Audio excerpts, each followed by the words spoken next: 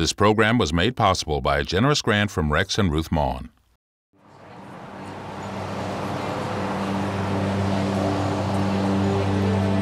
Last year, millions of you responded to the sorrow of others with your means, tender hearts, and your helping hands.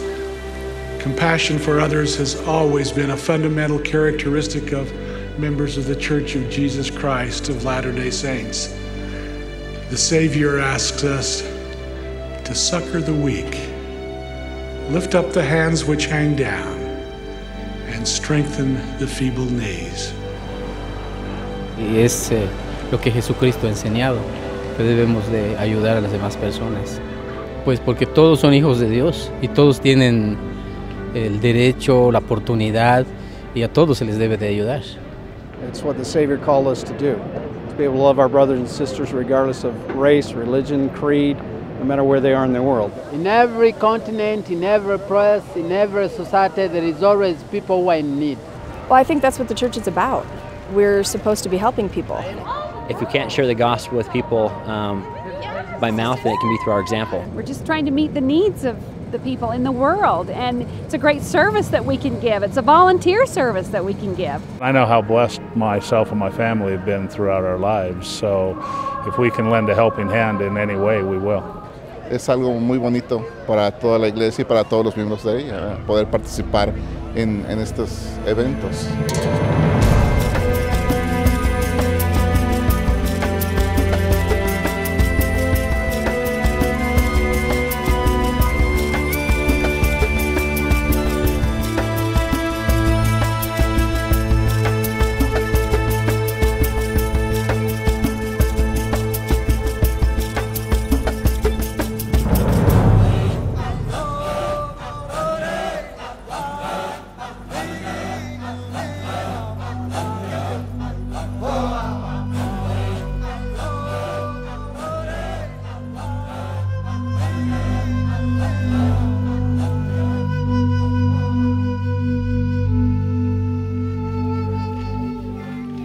Learn from the Savior about clothing the naked, providing water for the thirsty, uh, food for the hungry.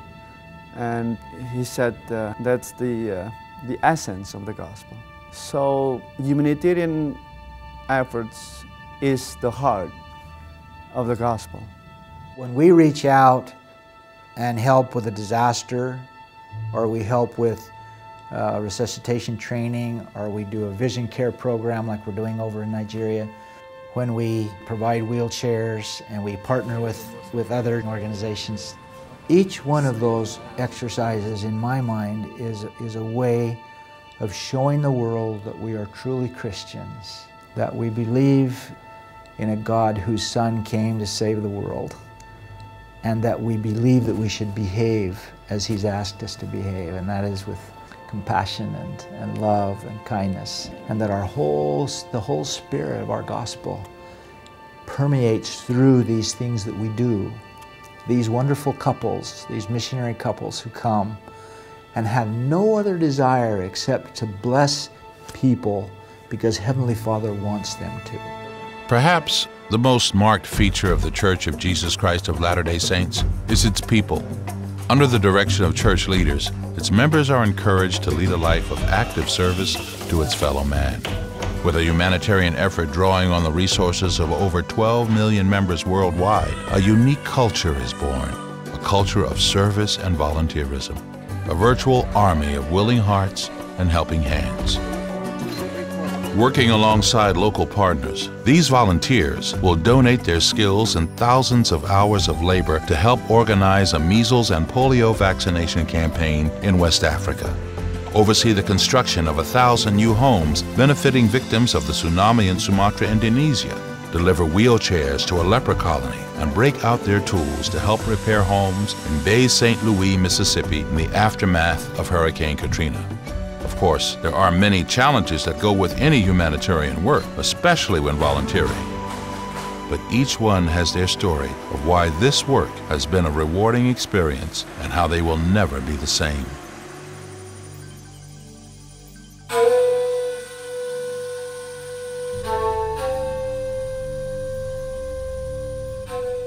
kami pergi sawah yang tinggal di rumah nenek sekitar umur 100 lebih lah sama anak saya yang kecil ini yang satu yang Wardiana namanya yang SMA dia tinggal untuk jaga nenek. Kemudian saya dengar udah nak keluar terus saya bilang. Akhirnya udah datang lah. Pos dibuat terus air itu. Bam nak ke sawah terus kami. Hanyut. Nenek di belakang mama sini anak saya yang perempuan tuh sebelah kiri udah buat terus. Gula mana mian tahu tadi tampi tu kudih madai lo pati pati sampai kane ka kya kya bulu. More than two years have passed since the largest tsunami in modern history struck southeastern Asia. One of the hardest hit locations was along the island coast of Sumatra in northern Indonesia. For surviving communities, the ongoing struggle to recover and reconstruct is still a daily reality. Thousands of families still face a lack of permanent housing and a means of sustainable livelihood. Rumah hancur mendi hanyut. Gak ada mendu. Ada nam rumah yang mesti datuk tupah menan. Kau pade.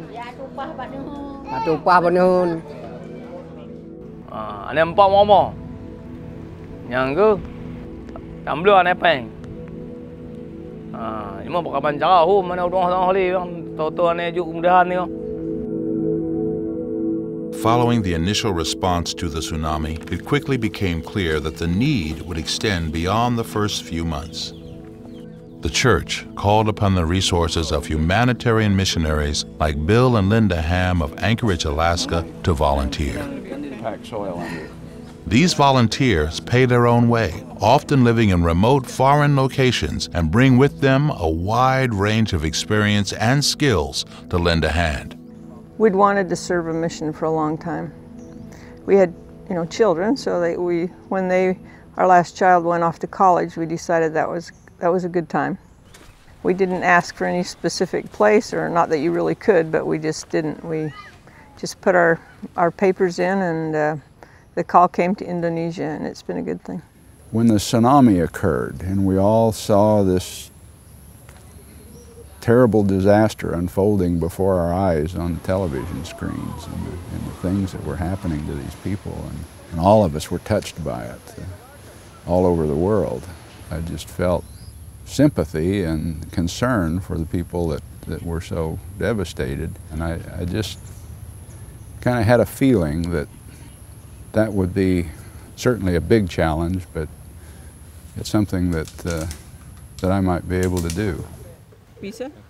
Together with partners and the community, these volunteer missionaries oversee the development of sustainable long term projects that are meant to improve the health and well being of individuals and families. What are they missing? The, the roof? Uh, in order to operate in countries where the Church of Jesus Christ of Latter day Saints is not formally recognized, humanitarian efforts function under the name LDS Charities. In the case of the Hams, they have been assigned to work with the International Organization for Migration to build nearly a thousand permanent houses for tsunami victims.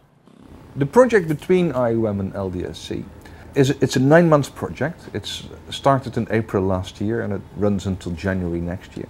It involves almost $10 million for the construction of 952 houses. We identify the sites LDSC people are on site. They're actually living in the first houses we constructed. The first two houses we constructed are lived in by LDSC staff who help us with the identification of the site, the verification of the beneficiaries, etc. Those sort of things. Now, the main focus of the project is construction of houses. Residing in the small village of Kuku on the eastern shore of the island of Sumatra, the Hams are monitoring the first stages of house construction in an area that represents only a small fraction of the more than 700 kilometers of affected Indonesian coastline.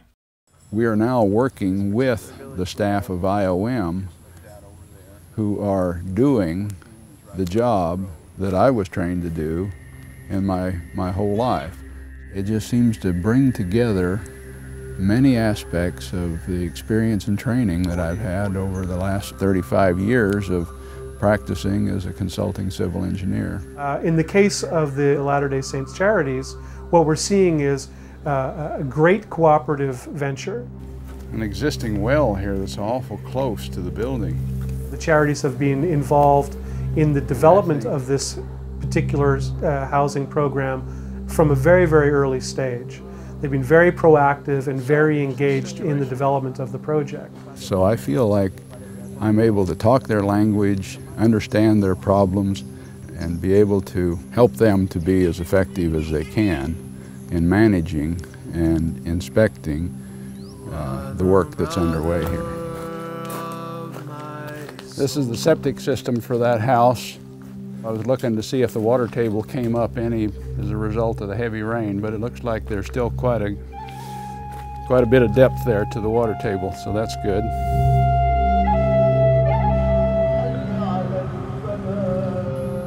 This is a unique area of the world, I think, as far as missionary service is concerned. We're here in a Muslim country where the, the official government policy is that Christians are not allowed to, to proselyte or uh, uh, give out information or literature or do anything that might be interpreted as being trying to convert anyone from the Muslim religion.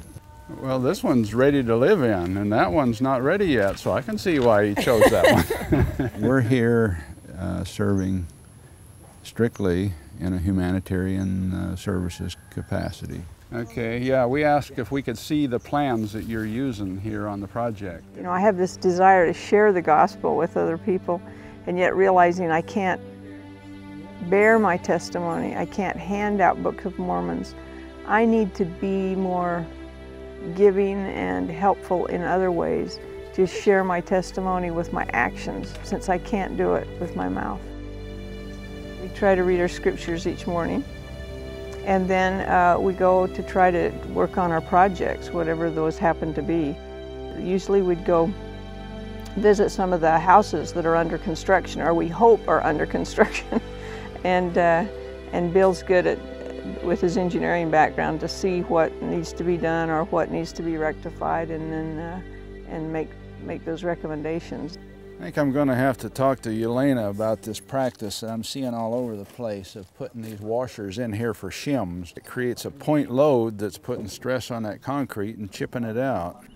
I've watched him several occasions when he's dealt with people when there's a there's either been a conflict or a disagreement or something with a different way to do something and he's kind of held back. Did they have these foundations in like this when you were here before? I think the Lord's guided him to help him make uh, righteous decisions and how we should deal with it and and often turning the tide maybe back to the Indonesians to uh, let them help themselves to solve their own problems. Well, she is the uh, the public relations uh, chairman of our our little corporation here. I will SMS you the number for our accountant in Jakarta. I will do that right away. I will SMS you the his number, and his name is Ari. Okay, thanks. Uh-huh, bye. I think it's good to see where people are living and know where they're coming from and where they've been. I think if it was you and you'd had a your house had been destroyed and then you wanted where do you live? you maybe there's a tent you can live in. You know, it's time now to to get in a home. Currently, more than 80 senior missionary couples are serving in humanitarian assignments around the world. Whether teaching literacy, organizing family strengthening programs, offering medical assistances, or aiding in relief efforts for disaster victims, these missionaries all carry one hope the hope that their contributions are making a difference. I, I feel that, that we've been given special insight and abilities to be able to see the needs of the people.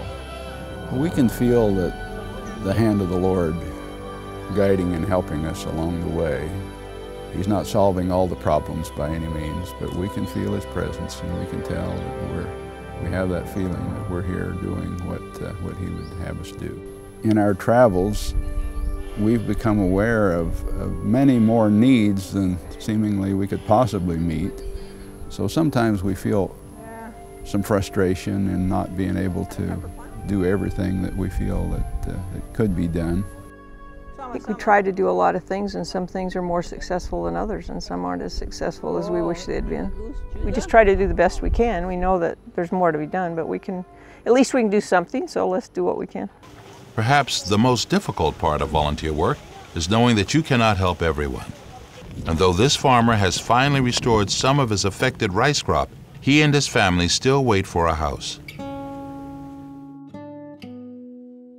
There is another distinct side to the volunteer efforts of the Church of Jesus Christ of Latter day Saints. In the past 20 years, it has shipped 47,000 tons of food and 63,000 tons of other supplies to more than 150 countries. In 2003, the church donated $3 million to support a worldwide measles initiative providing vaccinations to over 200 million children in 40 countries. Behind the increasing number of material donations come thousands of hours of labor. Not all volunteers are full-time missionaries. Often labor comes from a workforce of a different kind. The other piece of it is the average member of the church, whether it's through a relief society or one of our youth organizations, who are doing service projects. Organizations say, how can you do what you do? And we have to say, it's because of the volunteers. Not only do the volunteers provide manpower, but it also brings a tremendous spirit into the work. When you talk about the emotional stability six months after a disaster of this scale, you're talking about uh, pure trauma. The people had lost everything. Church headquarters looked at that and said, you know, there's a need there. After that, there, there was a turning point.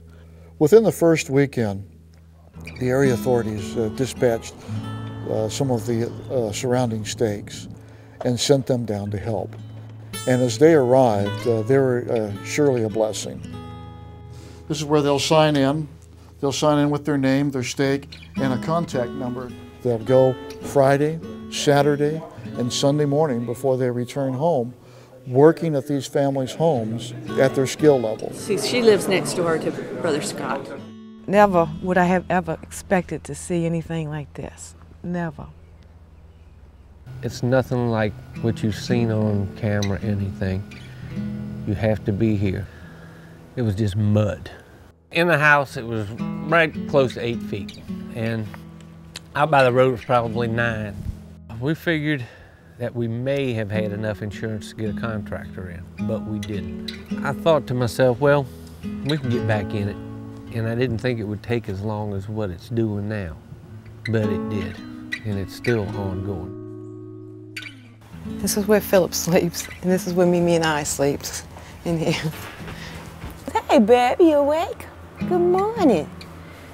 It's gonna be Mimi's little bedroom. In the bathroom here. The water pressure is real low, washing clothes with cold water. You gotta keep washing them over and over and make sure you get them clean. This is Barb's little kitchen over here. And this is where she had her little dining table. And this is about it. So we're trying to go as quick as we can. Now, we're doing some electrical work today. And there's just a few things that need to be done before the drywall goes on. Get these people, they're living, you know, in a trailer now and trying to get them back in their house. So we're hoping to get them dried in and get ready for paint. We're gonna we're gonna accomplish quite a bit in just just a couple days. We're from Roswell, Georgia Stake, Roswell Ward, and uh, that's about a six six and a half hour drive from here. We left last night around six, uh, trying to get down here to get a good start. Um, we've got about 75 coming down. Six of us decided to come down last night. Uh, we got in around 1:30 local time. Got this morning get uh, want to get an extra day's worth of work in. We started Friday. Uh, right off the bat, we started insulating. And then right behind them, another crew came and started hanging sheetrock. And then when it got to a point where we were stepping on one another, another crew broke off and started finishing the sheetrock. It just worked out real smooth from then on.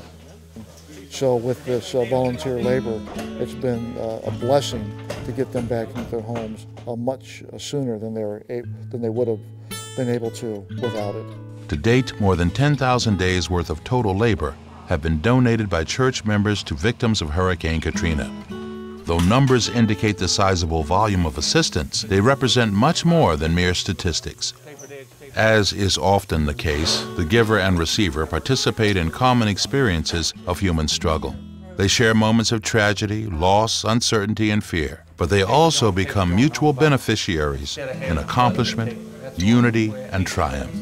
While in the act of labor, volunteers often make the most difference in restoring hope in the lives of those in crisis. The challenges that abound us only lead you in one direction a massive amount of hope, because you know that things have got to get better. More than hope, it is an experience that leaves both giver and receiver forever changed. Whenever a human being can focus their efforts on another human being, um, the, the benefits are great. You forget about your own trials, you feel better about yourself, you feel better about uh, the people you're helping. I, don't know who it benefits more, if it benefits us or, or, or them more, but uh, I know we both benefit. Uh, these families uh, uh, that, that have been helped, you can see the changes in their countenance. You can see the uplift in their spirit. It's something that crosses uh, lines of education, it crosses lines of income, and uh, you know, it just brings us all together. You know, it makes you appreciate what you have, um, and uh, you know, you see they've lost everything. They don't have a, they don't have anything left. You look in this house, and there's nothing left in this house. They're living outside in a trailer, and it makes you pretty grateful for what you have. It's just one of those things. We get asked to come, and we come, and we'll come again if they ask. It gives us a good feeling inside to make sure that we're helping others, and we hope someday that they'd help us if we were in the same situation too. It's good to see the people smile on their face once you uh, do service for them. These bunch of guys has been great. Gee, I don't know what we'd done without them. By myself, it would be, it's too much. They gave up their family life to come help me. I couldn't believe it. The experience being able to help the people has been awesome and just the camaraderie with the other members of, of the church here in my ward and also getting to meet people in other wards has been fantastic. A reaffirmation of what I already know, that helping other people makes you feel good. My love for these people has, has grown. I love these people here. They're great people. They're resilient, they're resourceful, they're good-hearted people. I just can't explain. It's just a wonderful feeling to have to have people to care for you. Just thank you so much. We really appreciate everything everyone has done. This was charity. this was charity. This was fantastic. Glad y'all could make that. Thank you so much. Y'all helped out a bunch. Though the church has adequate means, it takes more than a stockpile of physical resources to respond to the problems of suffering. Without volunteers, uh, though we would be able to help, it would be severely diminished. We, uh, we really tread and uh, look forward to and must have the great volunteers that uh, do the legwork and do the professional work and share their skill sets to make all of this come together and happen. Thanks to willing hearts, heads are raised, spirits lifted, and the burdens of many are made light. I'd like to say thank you immensely. I don't even know how to say that strong enough, though. I mean, these people just came in and did something for somebody they didn't know. It makes a difference. I mean, these people are making a difference. I have been very blessed in my life. If I can do anything to pay back a little bit, I'm grateful for that opportunity. I know I'm happier when I have work to do and there's things to do and I can be of service. It hasn't been a sacrifice to go on a mission. It's been a blessing to my life and I'm grateful for the Lord to accept that, that I could be accepted as a missionary and have that opportunity. We've been blessed in so many ways as a result of serving this mission. I guess it, it gets into your blood over time. I've never thought I would do anything except try to be of service to other people. One of the very most fulfilling aspects of this assignment has been our close association with the senior missionary couples. They are incredible.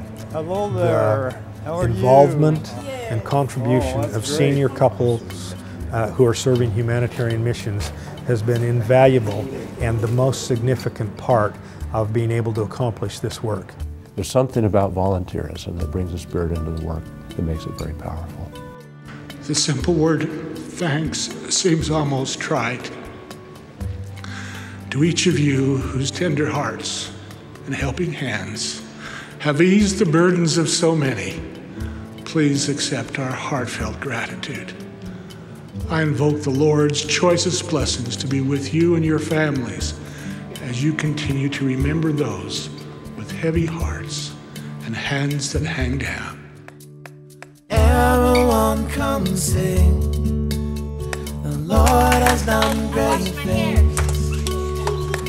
This is no all under the sun.